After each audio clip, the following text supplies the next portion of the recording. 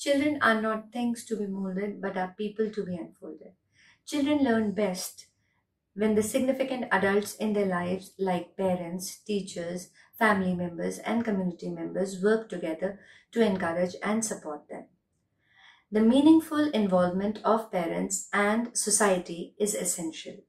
Our society has created an artificial distinction about the roles that the parents and teachers should play in learners' life.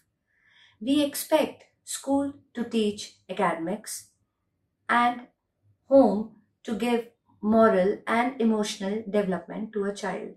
Yet, children do not stop learning values and emotions when they enter classroom, nor they cease learning academic when they are at home. They keenly observe their adults, how they take decisions, how they implement them, and how they treat each other, which eventually is reflected in their personalities later. Thank you so much.